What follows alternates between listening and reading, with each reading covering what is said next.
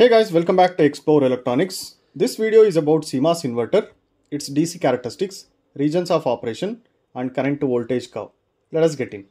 What is CMOS inverter? CMOS inverter is a inverter. It will be consisting of P MOSFET in the pull up, N MOSFET in the pull down. When we are going to apply voltage 0 from the input, it will generate output 1. This output 1 will generate from P MOSFET. That's why we call it as P MOSFET is responsible for generating the output 1. It will pull up the output. When the input is 1, output will be 0. For this, N MOSFET is responsible to generate 0. That's why we call N MOSFET is pull down transistor. So to understand the working of this, we need to know the working of P MOSFET and N MOSFET. When the input is 0, what happens? This P MOSFET will be on and N MOSFET will be off. Because of P MOSFET on, we can treat it as a closed switch like this and we will be having a positive voltage that is VDD over here. Because of that, we will be getting the output as positive voltage. We treat it as logic 1. At this stage, N MOSFET is off means it is an open circuit like this. So there is no connection from output to ground. There is a connection established from VDD to output. So we will be getting logic 1 as output when the input is 0. Similarly, when the input is 1, what happens? P MOSFET will be off, N MOSFET will be on. So from VDD, there is no direct connection from the uh, P transistor. There is a open circuit here. And for the output terminal, we have a path over here which is connected to ground. So this ground will be having 0 volt. So the output terminal will be getting logic 0 as output. This is how P MOSFET and N MOSFET will alternatively turning on and it will generate the complementary output when we are giving 1 and 0. So if we plot this V out versus V in, it look like this. In x-axis I have taken V in, in y-axis it is V out. When V in is 0, it is very minimal, the output will be maximum and as V in increases further, output will reduce and finally it becomes 0 when V in reaches maximum point. This is the DC characteristics of CMOS inverter. If we want to analyze this CMOS inverter DC characteristics in a better way, we need to divide this curve into five regions. This is region A, region B, and region C, region D, and region E. To understand this curve, we need to understand what is the state of the P transistor and what is the state of the N transistor is when we are start applying the voltage from 0 to a maximum volt called 5 volt. What is the state of these transistors? Depending on that, the behavior of these two changes and output changes. Let us analyze these by taking each and every regions at one time. The very first thing is we need to understand the ports of these transistors. Means these two are gates. And we know that VGS is this VGS here VGS is this end. Right? Similarly this is VDS of the P transistor. This is VDS of the N transistor. Depending on these voltages only we say the transistors will be in cutoff region non-saturation region and saturation region. First let us take a region A. In region A in any region let us not worry about the P transistor status, let us only look at the N transistor status. It is easy to understand. So the region A is that we are start applying the voltage and we reached VTN point. It means VGS what we have here that is the gate input we are applying from 0 to uh, we reached VTN point. At this time VGS will be less than the threshold voltage of the N transistor. Because of this the transistor will be in cutoff region. Cutoff region in the sense there is no current flow there is no current flow means the transistor will be completely off. So there is no path from this end to this end. The from here to here it is open circuited. So at that time P transistor will be on. We know that P transistor conducts so it is a closed path. So we will be getting a maximum voltage at output. So we say V out will be equal to VDD. If you look at the P transistor and if you know the P transistor characteristics it will be in linear region. So in region A because of the voltage input is less than the threshold voltage, we call it as V out will be equal to VDD. So now if you look at the region B, region B is that we applying the voltage V in above the threshold voltage of the N transistor. So we say VGS is greater than VT now. What about VDS of the N transistor? VDS is also greater than VGS minus VT. So if you look at VGS, it is just around 1 volt but if we treat VDD as 5 volts and we will be having a maximum voltage at this terminal now so obviously VDS is more than VGS minus VT we say N transistor will be in saturation region. And this N transistor started to conduct, the voltage will drop from here. You can see the curve, it is voltage is reducing. So uh, till point C, if you, if you say because of the P transistor in a linear region, as we increase further, it will shift to saturation and N MOSFET is in saturation region at this time. The voltage reduces and V out will be greater than half of the voltage. Half of the voltage is this. Suppose VDD is 5 volt. We are getting 5 volt in region A and it drops now in region B. So what is the voltage means? It is less than 5 volt. We say this is 2.5 volt region or VDD by 2. So it is more than that. So V out will be VDD divided by 2 more than that. Now comes region C. Region C is exact half of the input we arrived means V in is applied as VDD by 2 and VDD is also reduced to half of that. So this is the point at which we will be getting VDD by 2. At this time, both the transistors will be in saturation region. So Vout can be written as it is VDD divided by 2. Even Vn, Vin is also VDD divided by 2. Now comes region D. In region D what happens?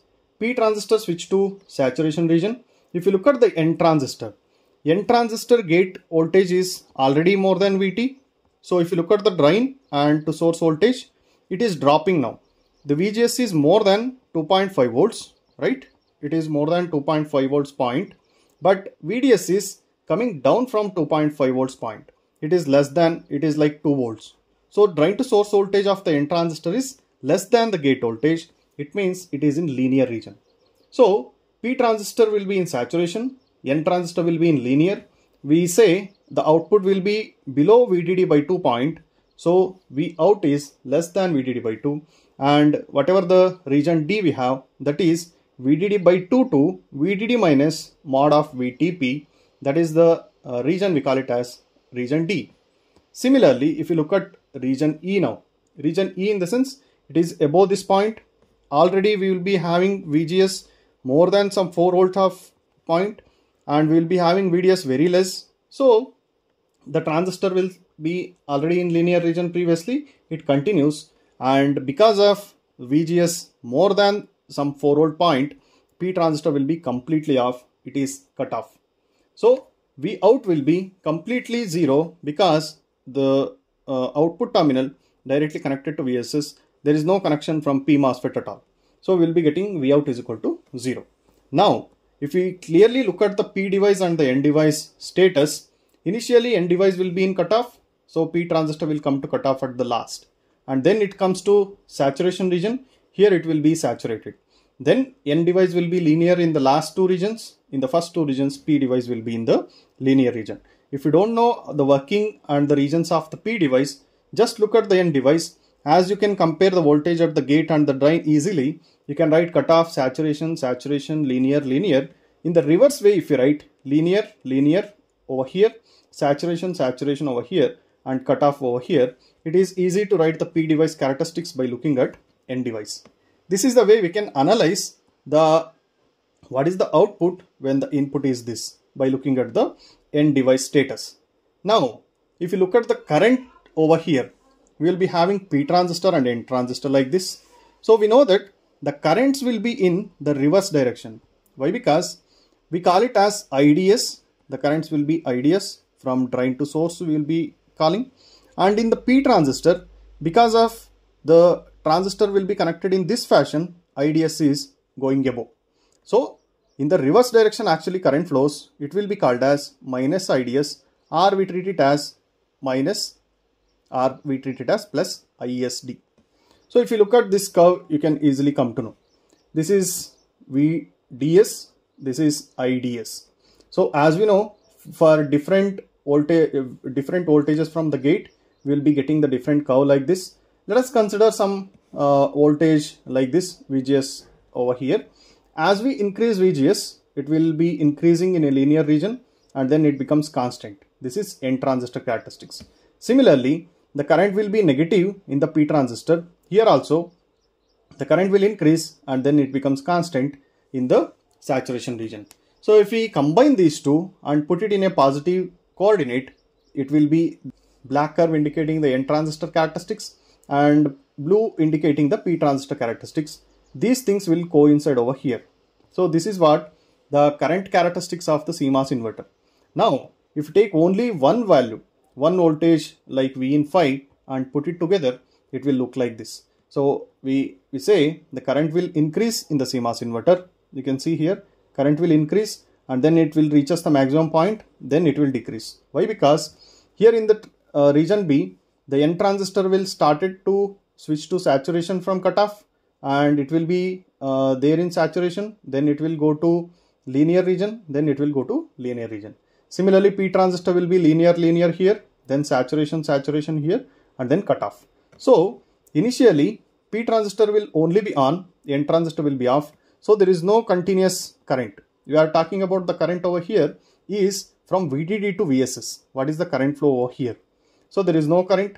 When we at region B, there is some small current flow because of N transistor started to turn on and because of region C is both are in saturation, we will be having a maximum current.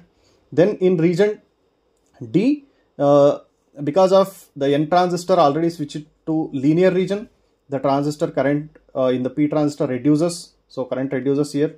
In the E region, already this P transistor will be in cutoff and N transistor will be in linear. So the rail to rail current from VDD to ground will be not getting and it will be zero. Means we say only in this region we will be having a maximum current flow from VDD to ground in a CMOS inverter. So you can look at here, here P transistor is on and N transistor is off. Here in region E, N transistor is on and P transistor is off.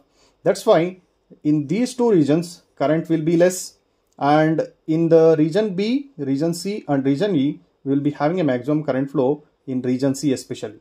So region C will be having the maximum current. So if we talk about the current flow in the CMOS inverter, the maximum current flow will happen at the time of switching. Switching in the sense it is 1 up to here, we call it as logic 1.